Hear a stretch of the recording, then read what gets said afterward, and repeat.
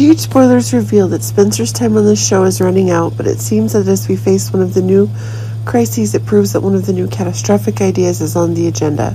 Remember that Spencer's first time in Port Charles is getting shorter and shorter, but it seems that there's a new event on the Netflix series Monster has begun production, and it seems that this is making Nicholas Alexander Chavez need to leave to ensure that the events with his next show, currently in production, the show Monster has cast Chavez as Lyle Mendez. This is making one of the dangerous events that Spencer is facing become more and more open. Remember that the dangerous events in Spencer and Trina's own relationship are increasingly gaining significance new outbreak, and this is proving that one of the intense actions that Trina herself is making is actually one of the newer pressures that are being confirmed. But it seems like one of the ideas Esme is having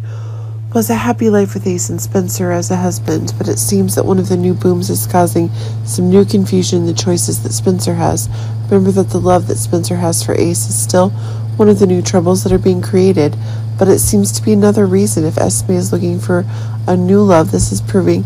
that Spencer is being pushed into even more difficult choices than ever. But it seems that Spencer's exit is still one of the tensions, and Nicholas's return is one of the increasingly challenging truths. Remember that one of the ideas about the danger that Nicholas is having is making the very events that determine the very dangerous actions that Spencer is having become more and more likely. But remember that Nicholas Alexander Chavez is still likely to return, and it seems that his only way out is to search for Nicholas when his father, despite his dangerous actions, is still his whereabouts are unknown. Remember that if one of the new disasters is being confirmed, then it's causing Trina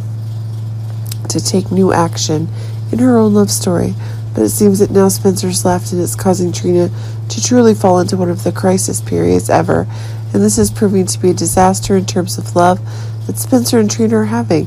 have been, but it seems that if Spencer is also being replaced by another actor the way Nicholas has been in the past. It's proving one of the new dangers is increasingly being confirmed more quickly.